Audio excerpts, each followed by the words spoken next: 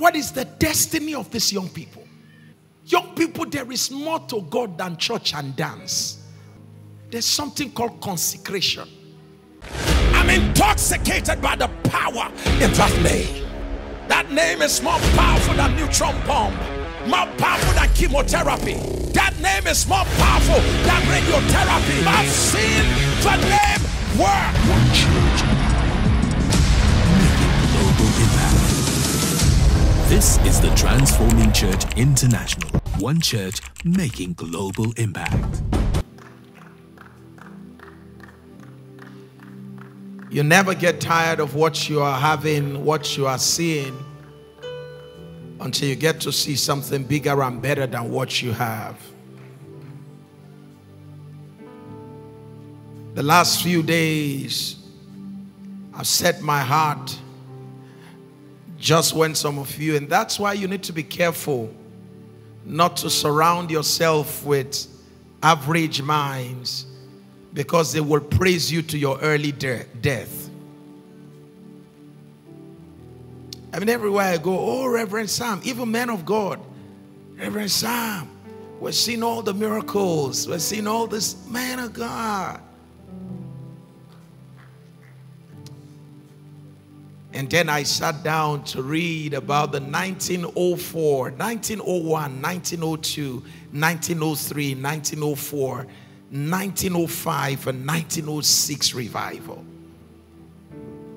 21 year olds, led by 20 something year olds. Evan Robert, 35, pushed the, the Welsh revival. That's, that's blew across the nations of the earth. Evan Roberts had to withdraw from school, sir. He was in school. But he got to a point, he said, Look, he said, I want to see thousands come to God. He said, I want to see revival in my nation. And as he began a meeting in their church with the young people and said, Young people, enough of this carnality amongst us. I'm talking about youth pastors with passion. I'm talking about youth pastors, pastors of singles and children with fire burning in their hearts.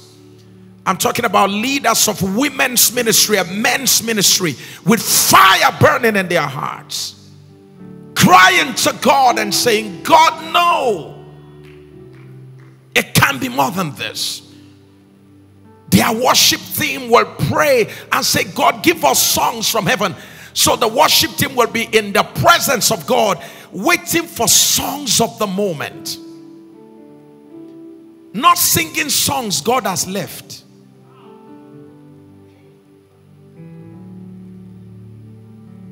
If we truly want revival, we need to be exposed to something more. Then I saw Evan Roberts will go and spend time in prayer. Throughout the night, I just couldn't sleep. I said, God, I want something more. And you know what amazed me about Evan Roberts? He looked for a man called Seth and found some other people who had similar passion. And they became friends. And as Evans was Evans was leading that kind of meeting here, Seth was leading the same meeting somewhere. So the 1904 revival was not just one man, even though Evan Roberts was the one that was popularized. And I I dropped I dropped the book and I said, God, I'm looking for a Seth in TTC. I'm looking for somebody in this church who is not interested in titles, who is not interested in position I'm looking for a young man who is interested in setting the nations on fire. Who would say, Papa, I just want to come and be spending time. I'm not talking about just for the sake of I want to be, I'm close to Reverend Sam. You can be close to anything and not be anything. I'm looking for somebody whose heart, whose heart is burning. I'm looking for a woman whose heart is beyond gold and silver and diamonds and, and blings and rings. I'm looking for a woman whose heart is after God.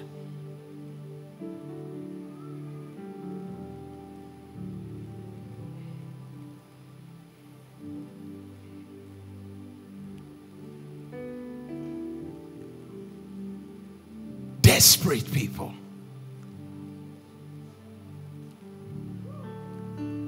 People crying for more of God. The only reason I'm here this morning is honestly with a hope in my heart that God will set your heart on fire and that together we can become passionate for something bigger than all of this. The life of a man, shoes. Is that what your life is? Gold wristwatches and Rolexes. The metals we park in our car parks.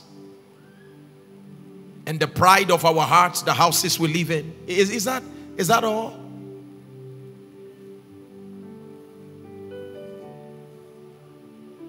Evan Robert broke down. We said, Lord, bend our hearts. Bend our hearts. He said, if you can bend the church, you can touch the world. If you can bend our hearts.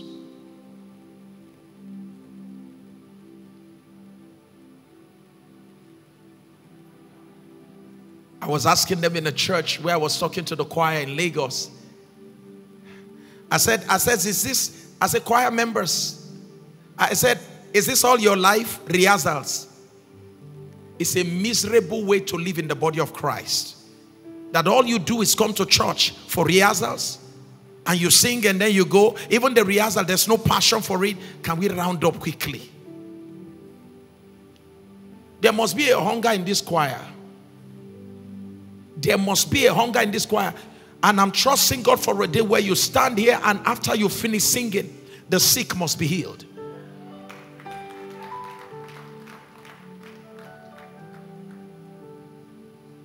There must be a hunger in this choir that after you finish singing, people are saying, as you are singing, the glory of God is falling. People are being set free. With due respect to those who lead our prayer in the morning, I called the lady in charge of leading prayer. I said, the next time I see casual prayer on this altar, I will fire you personally. And I called her pastor. I said, Is this what you want to turn the house of God into? Is, is this how we pray? In a praying house, we, we just come to lead prayer casually. And before we know, the spirit of casualty will take over the church.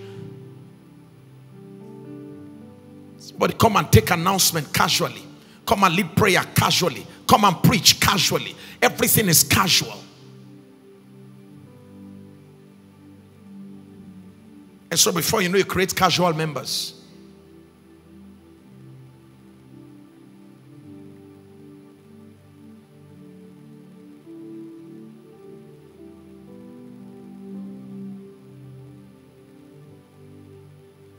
Let the intercessors know that intercessory prayer is not for Monday.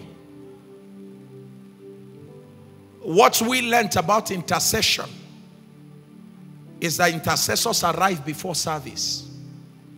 And intercessors don't come out of their place of prayer until the service is over. Begging God behind the scene that something must happen on the scene.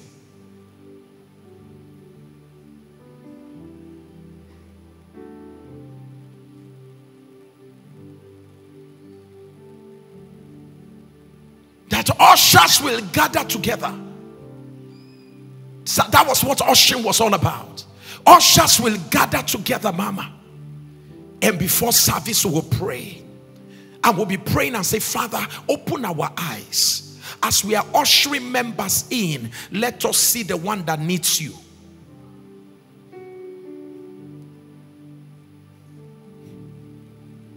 And I remember how Akim, as ushers praying, prayer was going on in ushering.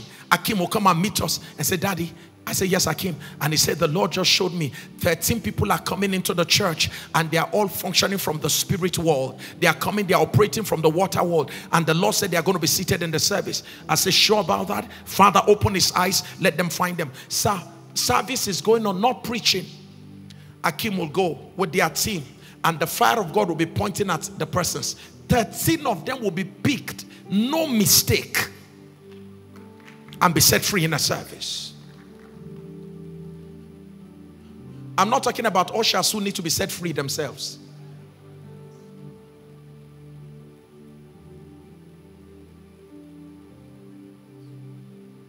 If you've never seen what it is or what it can be, you'll be satisfied with mediocrity. Sir, Mama, we finish ministering. I finish ministering. My pastor's real service begins after service. Because you will see members lining up, waiting on their pastors, deliverances taking place, demons being casted down, sick being prayed for.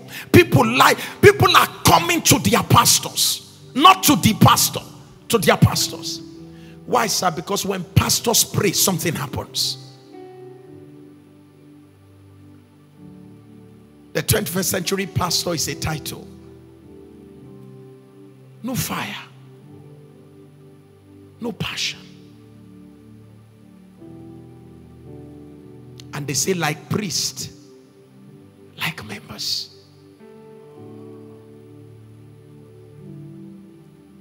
Every man and Adam begat after his kind. And I said, Lord, is this what I have birthed for you? I said, Not in my lifetime will it continue. I will correct it.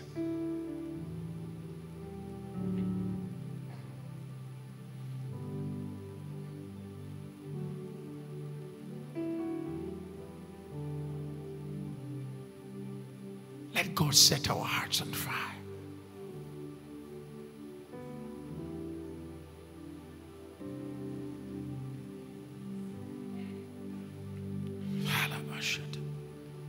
We are desperate people. We want more, more, Lord. We are desperate people. We want more.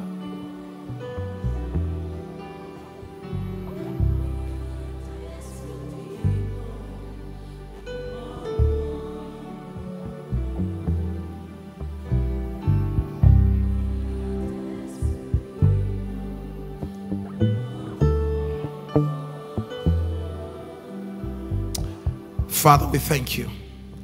Uh, very quickly, because of our time, let's get down to Luke chapter 15, verse 11.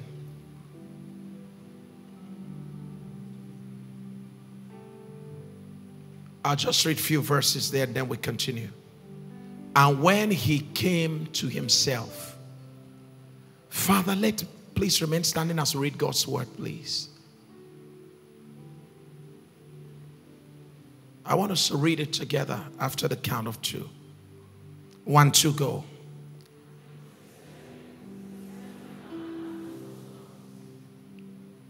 Go ahead.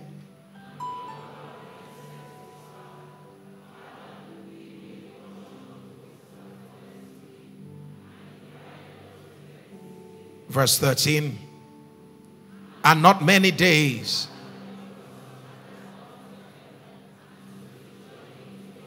into a far country. Wasted. Verse 14.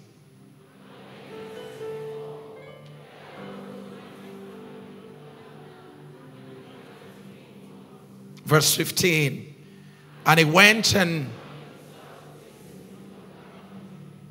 sent him into his fields to feed swine. Verse 16.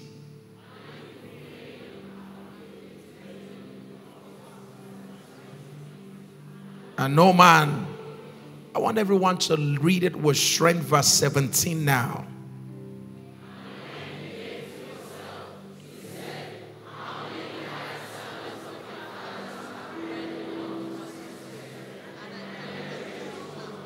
Verse 18, let's do that together as your own battle cry.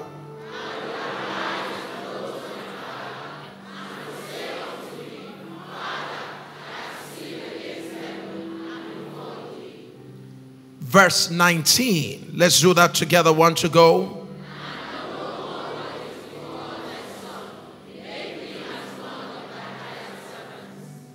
Verse 20. And he arose.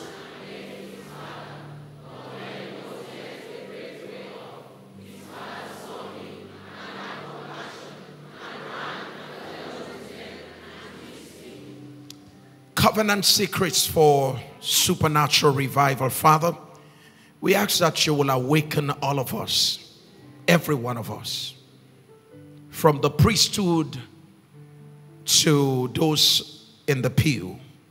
Awaken all of us. Father, set our hearts on fire again. Father, may we not become so complacent and not even know it. May we not lose our fire and not be aware. Father, for all of us who have lost it, we pray you will set our hearts on fire again. Father, give us passion for your presence. In Jesus' mighty name we pray. Please be seated in the presence of God. What is revival? Revival means to live again. Revival means to live means, the word rev means again, the word vivia means live. So the word revival means to live again. When somebody is dying, when people come there, they will say, Have you revived him? Have you brought him back to life again? Or when somebody's been brought to life after the person is almost like passed away, they will come back, to say, We revived the person. We brought the person back to life. My prayer for every one of us here today, from the clergy to the membership, is that you and I will be so will be so humble and honest before our God that we're able to come to a point of recognition and say, Lord, I recognize in my life an aspect of my life that requires a reviving. Could be my prayer life could be my study life. It could be the way I used to fast. It could be the way I used to preach. It could be the time I used to spend in your presence. Lord, something is dying, and now I am aware of it. And Lord, I'm going to stop at nothing until I bring it back to life, until it comes back to life.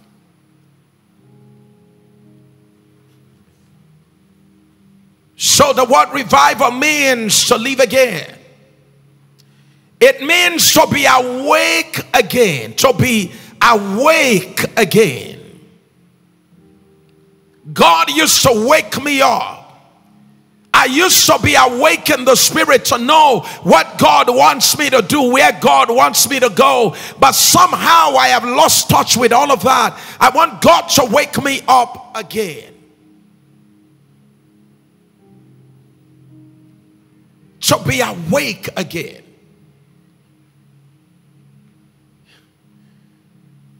There are people under the sound of my voice. There used to be a time when in your nights and the dreams, you will even hear sinners crying and and you will see visions of hell and people going to hell and, and you will wake up and you will do everything to preach to souls. There's someone here today from January up till date, you don't have a single soul you went after, you got the person saved, brought the person to the house of God as a trophy you are placed at the feet of your master.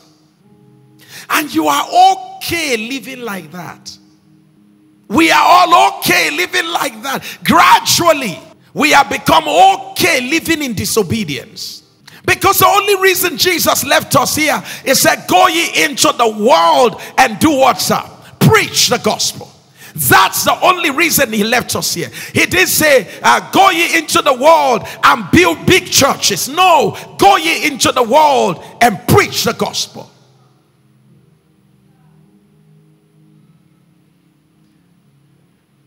Records have it today that an average church member will be in church for a whole year and never preach the, the message of the gospel to a friend, and it's okay. Something is wrong with us.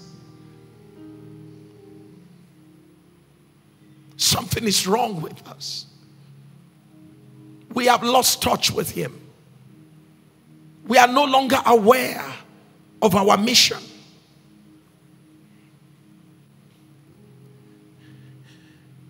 Christians can sit in boardrooms with business partners. In those days, uh, Christians will do anything to reach the unsaved. Now we will do everything to keep the gospel the, from the unsaved. so long as I'll get business.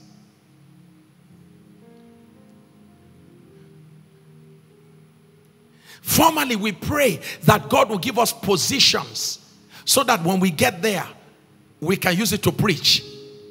Christians have come into position by the help of God, and for, for as long as we have been there, the only thing you want to keep quiet is the gospel. Don't want to talk about that. They, they pray that they, oh come on Lord. They, they pray, they, they spread their mats in your presence and they pray. But you can't open your mouth for a minute to say thank you, Jesus. You are, you know, somebody needs to be careful. You need to be sensitive. You are sensitive to them, they are not sensitive to you. Something has happened to us. There used to be a time when, as singles, as young people, sir, we use our birthdays as opportunities for winning souls. I don't know if anybody understands what I'm saying here. So we will go to our church and tell our pastor, sorry, sir, would like you to come to my birthday.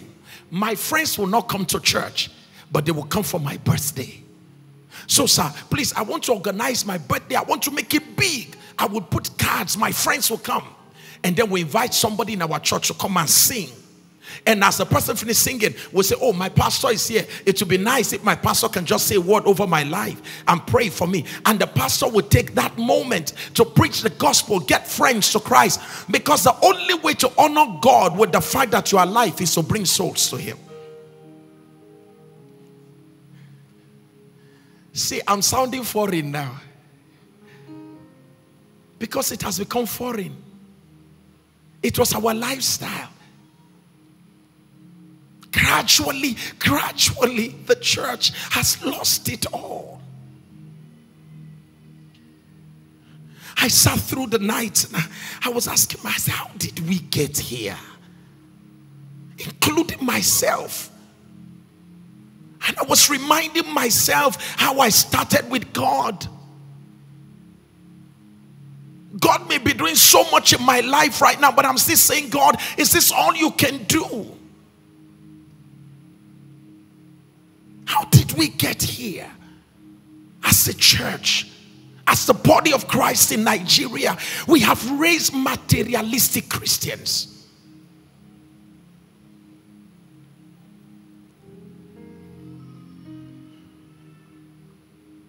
And no wonder the world insults those of us who are clergies.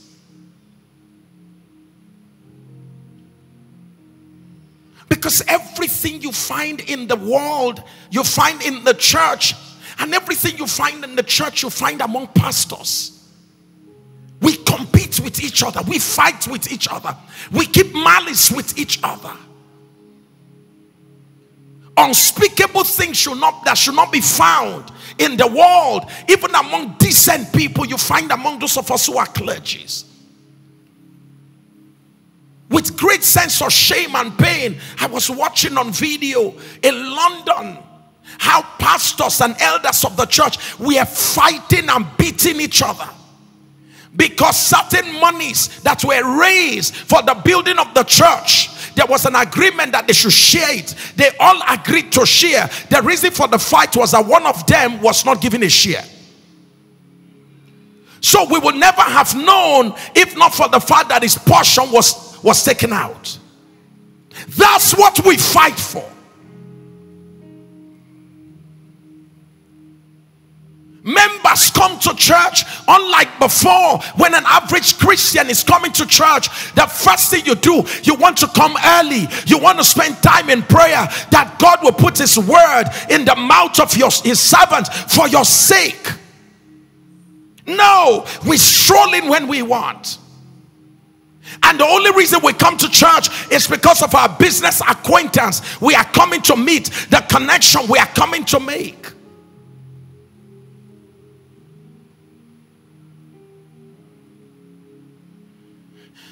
And there is a generation rising that doesn't know what the church truly looks like.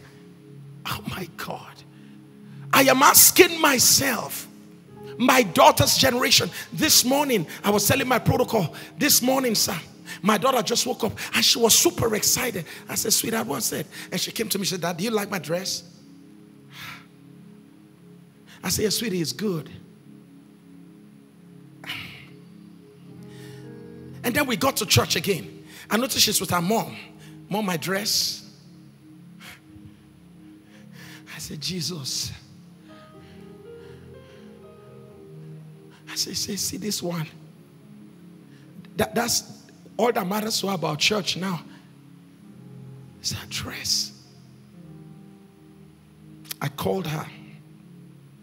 I called my daughter in the office before I came in here. I said, sweetheart, come. I said, from this moment onwards, it's not just daddy and mommy you should talk to. I say, anytime you dress up, look up and say, Father, are you pleased with me? I said, sweetheart, from today, anything you want to do, I said, don't just see if daddy may like it.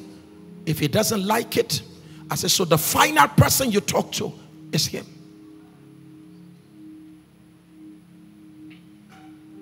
And as soon as my daughter was coming out, because she was still interested in her dress, as soon as she was coming out, she fell on the ground. I called her back, picked her up. I said, You know, I told you, calm down.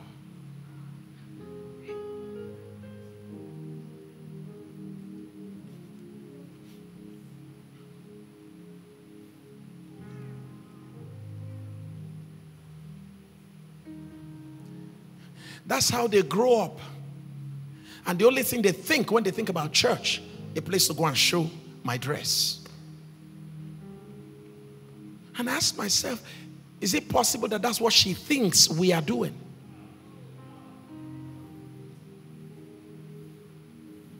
Is it possible? Is it because I lock up my prayer room and she doesn't see me groaning? And the Lord said to me, Start bringing her into your prayer room. Let her be there. Let her see you sweat. Whether she under, let, lock her up with you for one hour, two hours. Let her see you groan. Forget about her.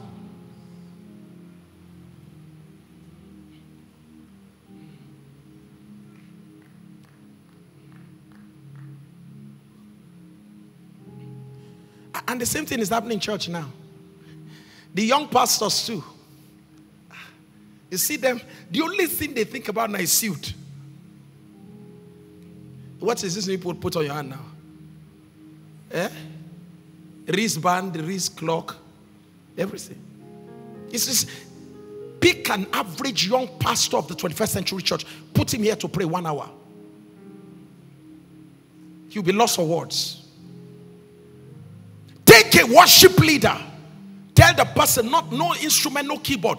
Put a worship leader here to worship God non-stop for one hour.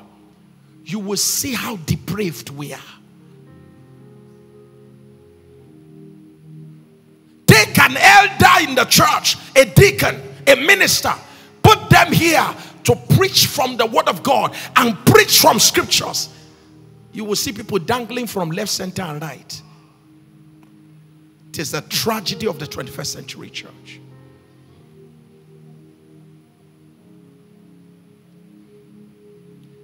He said, Are you not saying now that you are rich? Revelation chapter 3. He said, you are, he said, he said the measure of your the measure that you are you know God now is that you say, I am rich, I have everything, I have a car, I have house, I have everything. I travel first class. I travel. He said, Can I tell you how I see you? He said, Because as I look at you through the lenses of spirituality, which matters, he said, You are blind, you are miserable, you are wretched. That's to the member of the church that the pastor honors publicly, our brother who supports the ministry. God says, You are wretched, you are miserable, you are blind. Go to Revelation chapter 2, chapter 3 you will see that the assessment of Jesus for the church is totally different from the assessment we have.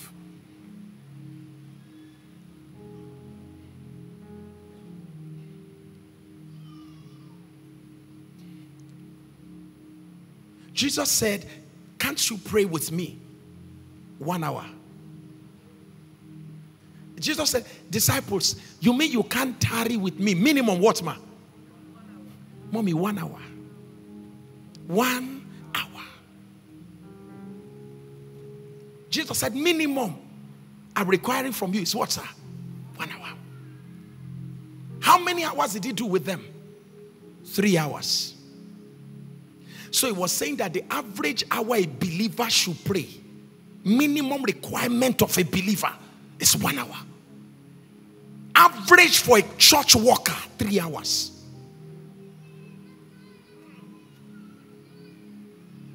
He said, pray like that, otherwise you will fall into temptation. Is that not why we're falling like flies all over the place? Sir, our Christian businessmen will leave Abuja. Mommy, you don't want to hear what I'm talking to you about.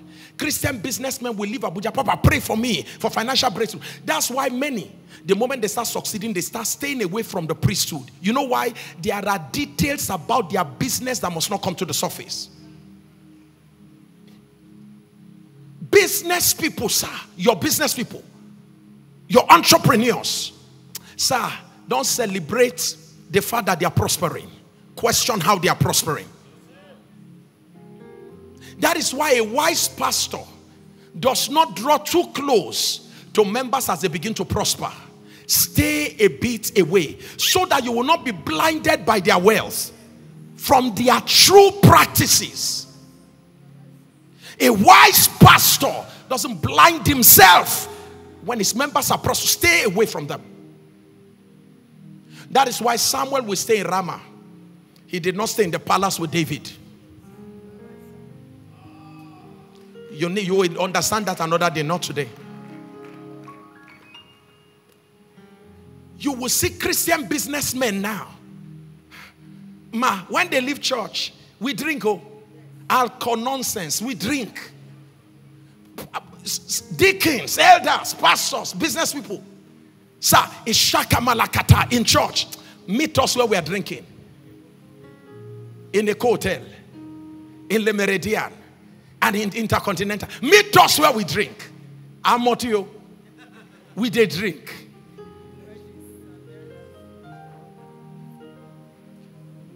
Christian houses, when Papa Sam is coming, you will see La Casera. When I'm coming to your house, you see Coke. When I'm coming to your house, you see Fanta. As soon as I am gone, your friends are coming in the evening. That is why our own visit, the time for our own prayer, for our own is two o'clock. Once we are gone, the real human beings appear from six. That's when you start seeing, you start seeing, all, and then by nine, your eyes are seeing like this. And then, and then you're going to invite them to church. See, see, see nonsense people. And then your pastor, blinded pastor too. The pastor too will stand and say, Praise God. Our brother, can you stand, sir? God bless you, our brother. You know, we are proud of this, our brother. And the world is watching the foolishness of the foolish pastor.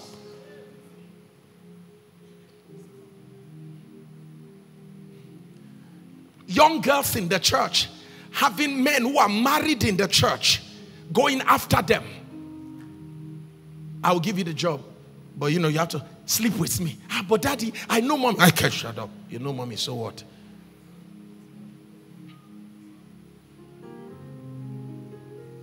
It's, it's where we found ourselves.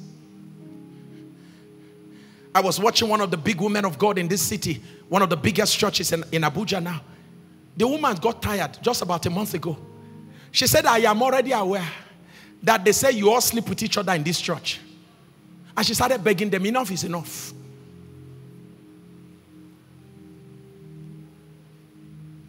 One of the leaders of the youth ministries of the most flourishing church in this church, in this country, in this city, called me and he said, Pastor, I have been struggling. He said, Pastor, I can't tell you how many girls I've slept with in our church. I am their leader. I sleep with them.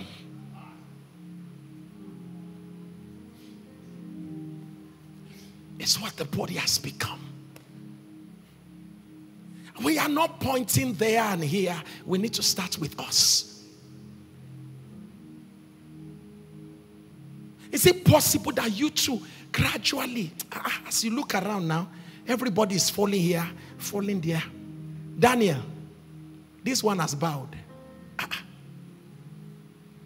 Can I can I have one Daniel here? Some, can, can anyone anybody just come as Daniel? Can, can I have some men around me here? Some men? Can I just any of you? Can I have some men too here? I'm tired of a status quo. Gotta be more. It's gotta be more. Gotta be more. It's gotta be more than this. So, sir, this is what happened in Babylon. And God is looking for Daniels, Danielas, that God will bless. The king of Babylon said, Look, as soon as you all hear music, somebody say music. Somebody say, as soon as you hear sound, say sound. Yes. It says, as soon as you hear the sound and then hear the music, it said, I, I, want you to follow the music and worship what the music points you at. If it's a sexual music, listen to the music and just begin to have sex. Is that okay?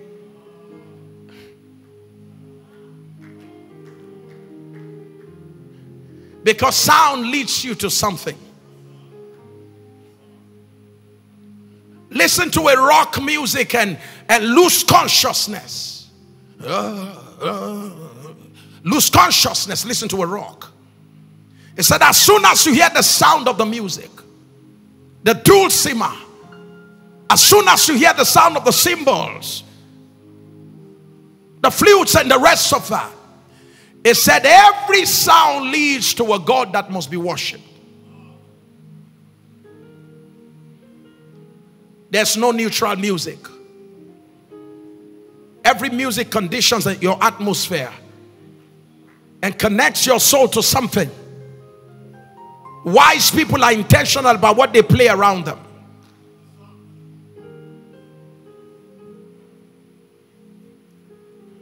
Papa, I don't know why every night I always see myself having sex in the dream. What was the last thing you listened to? What was the last thing you watched?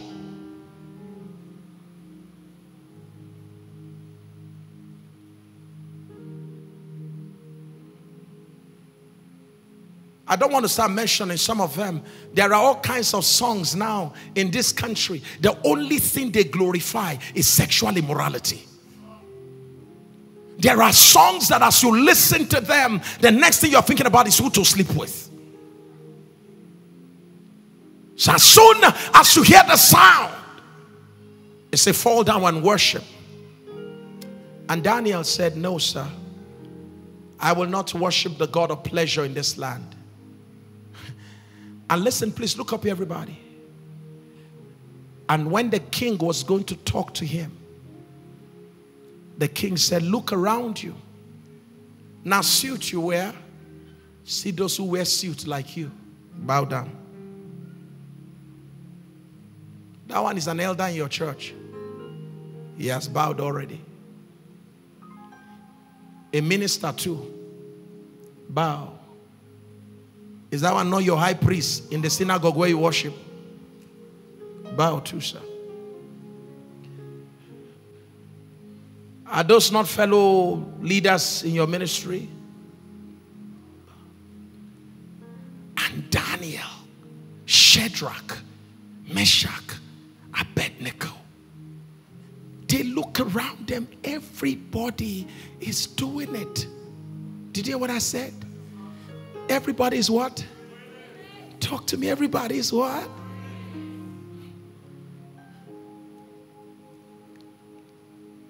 Some of you know each other's secrets in this church.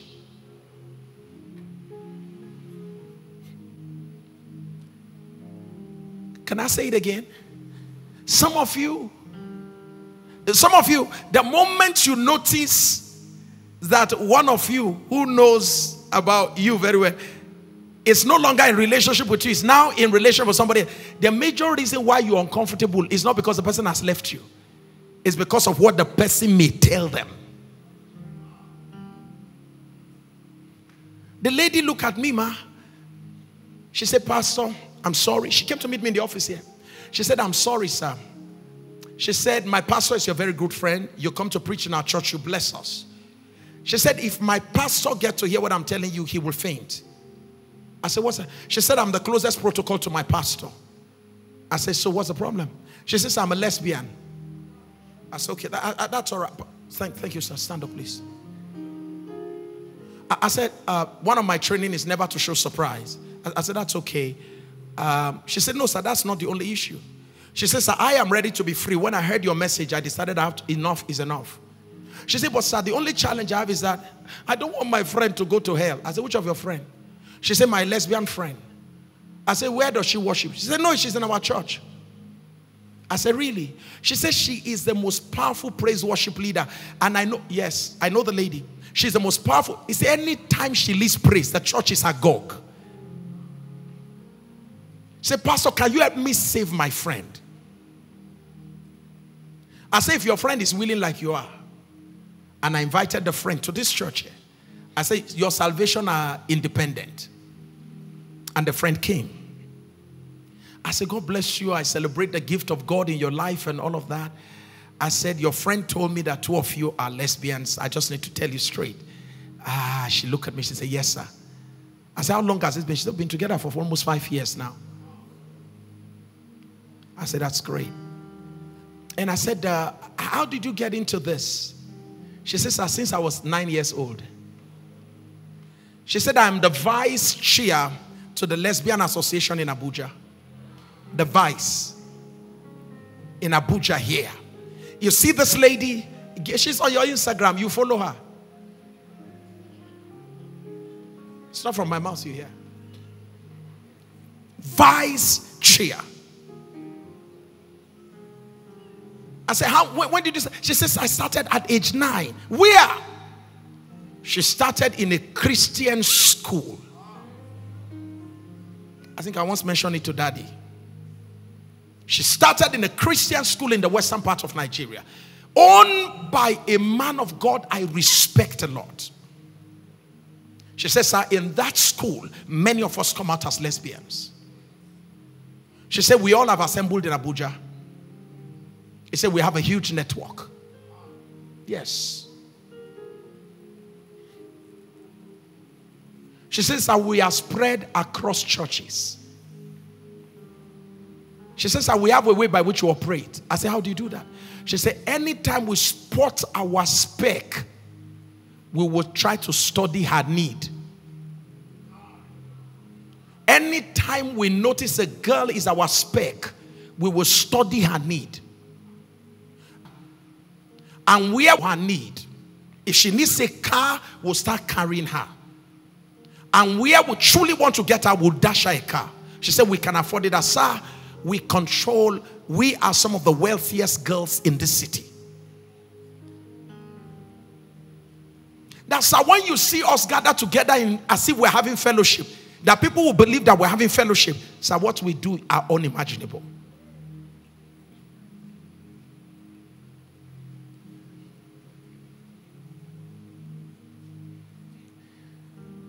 I guess I'm in trouble right now.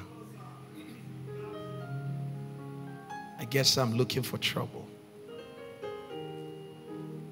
But that's what the church is dealing with now. And I love them. I love lesbians.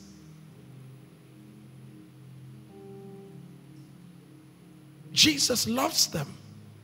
So I've been helping them. So the first one I started walking with her took us a year. It was when I was walking with her that the ones in my house here too began to show up.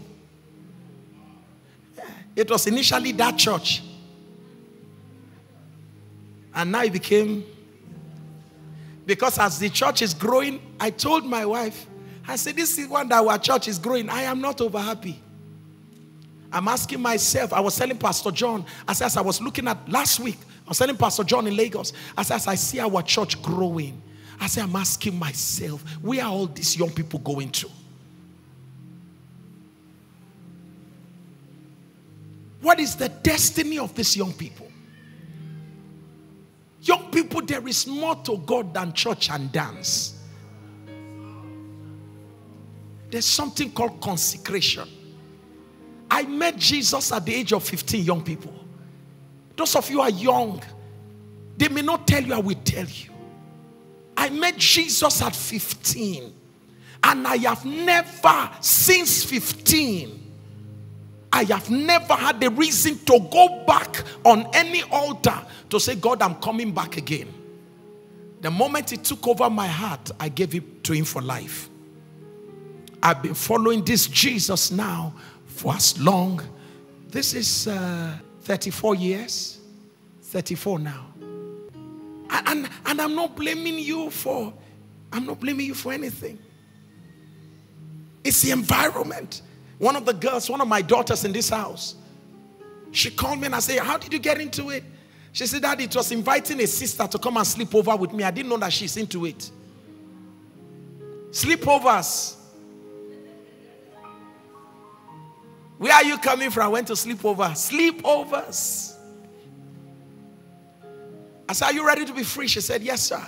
She is on fire for God today, doing amazing things for God. The other one too has since gone to be on fire for God. She is a multi-millionaire doing business of her own today. A young man came into the church, likable young man. And I like I like greeting the young man. As I got, how are you, sir? I said, fine. My time is up. How are you, sir? I said, fine. I said, I like you. He said, thank you, sir.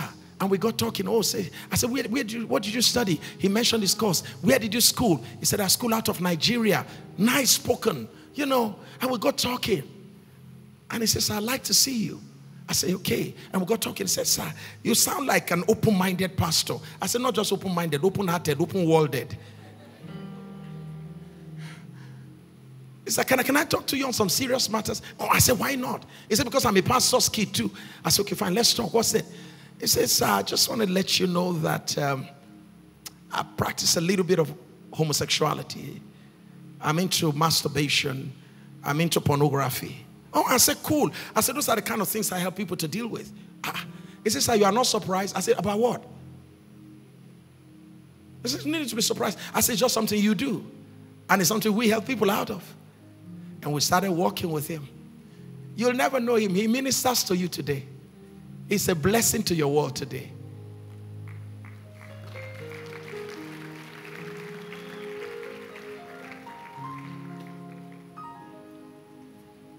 It's the kind of things we deal with. And we need to get to a point where, like the prodigal son, we need to be awake and our life again. Please, because of my time, guys, go sit down. Here's what I want to say to you the Bible says of the prodigal son, and he came to himself. I know Sunday services, our messages can be so impractical, so far fetched, and make us sound as if we're talking to aliens or about aliens. I decided to bring it home so you know it's right here with us.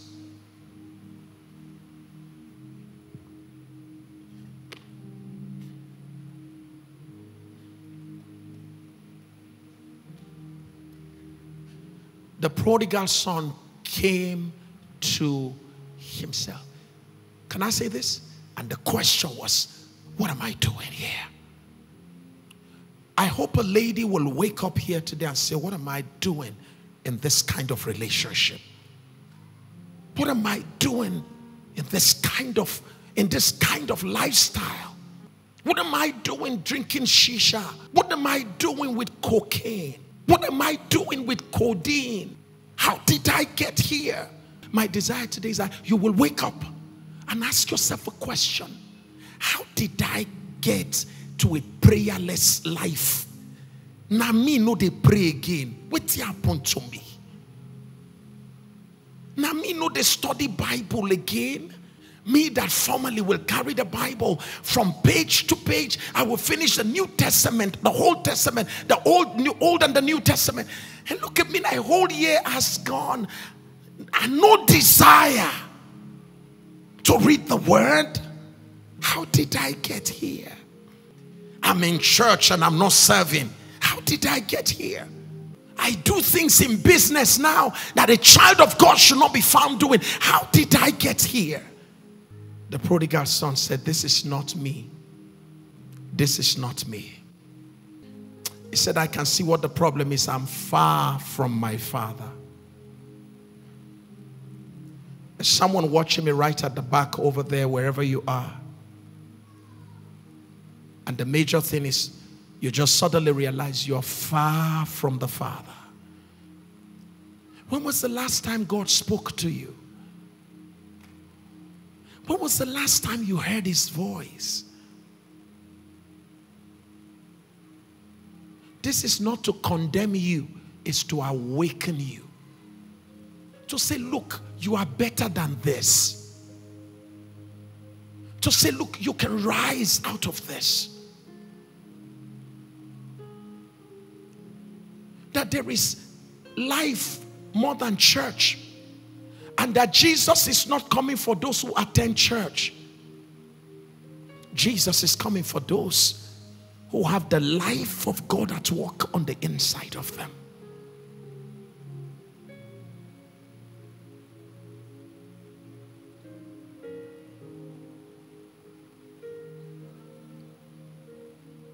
He said, I will rise, I will go to my father.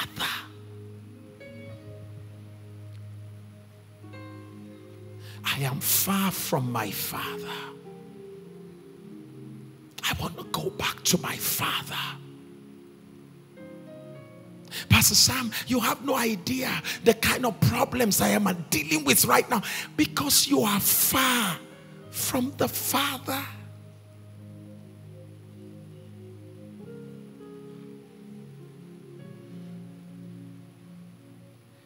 Did I not tell you last week that the prodigal son the more he started going away from the Father, he started spending to get what he was getting without spending. Pastor Sam, I am sick. Well, come back to the Father. His name is Jehovah Rapha. He is our healer. His presence heals. Pastor Sam, I'm dealing with financial crisis. Pastor, I'm praying for financial breakthrough. I can pray for that to happen. You will get a breakthrough and you break down again. But in the Father's presence, it becomes your lifestyle. Seek ye first the kingdom of God, his righteousness, and all these things all these things, they shall be what? I'm not hearing you. What is the word? They shall be added. For all these things the Gentiles are looking for. But when you look for the Father, they shall be added to you. It is true. Come back home. Somebody's looking at me, where do I even start from? Prayer life zero, Bible study zero, everything zero. Where do I start from? Start by turning to God.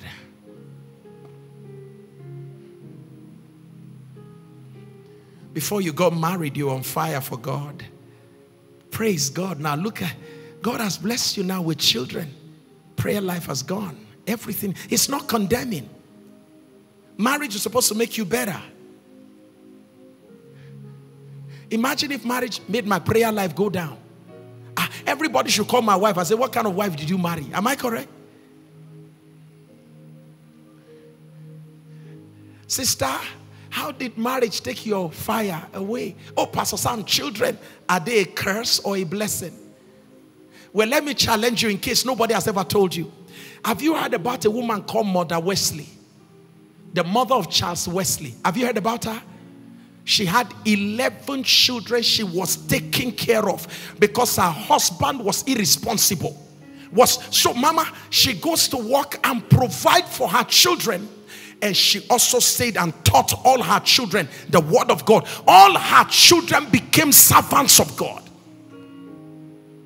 She taught them the Bible. She walked, she make money, she taught them the Bible, and she prayed for every one of them to be saved. And every single one of her 11 children were saved. A praying mother.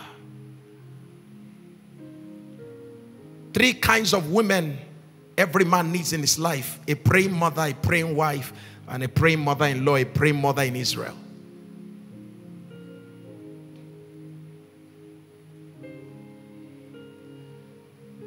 Businessmen, it's time for us to come back to the Father. Ministers, it's time for us to come back to the Father. And don't say come back to church. I'm talking about the Father. The Father is the one we have an issue with. We've gone too far from Him. If you sense the need in your heart to return to the Father, just bow your heads. We'll just stand to your feet. Let's pray together. Thank you for watching. We hope you were blessed and richly transformed by this sermon. Join us on site and online in any of our centers globally as displayed on the screen. When we pray, there's a God who hears us. Yeah. When we pray, there's a God to answer. Yeah. When we pray, we prevail, we prosper.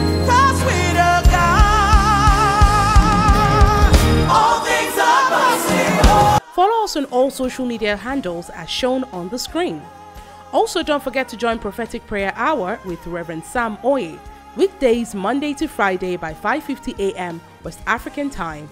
Join on YouTube, Facebook, and Instagram at Rev Sam Oye. Please invite your friends and family members, for with our God, all things are possible. For more inquiries, visit www.thetransformingchurch.org. We celebrate you. I'm intoxicated by the power in that name. That name is more powerful than neutron bomb, more powerful than chemotherapy. That name is more powerful than radiotherapy. I've seen the name work. One church. This is the Transforming Church International. One church making global impact.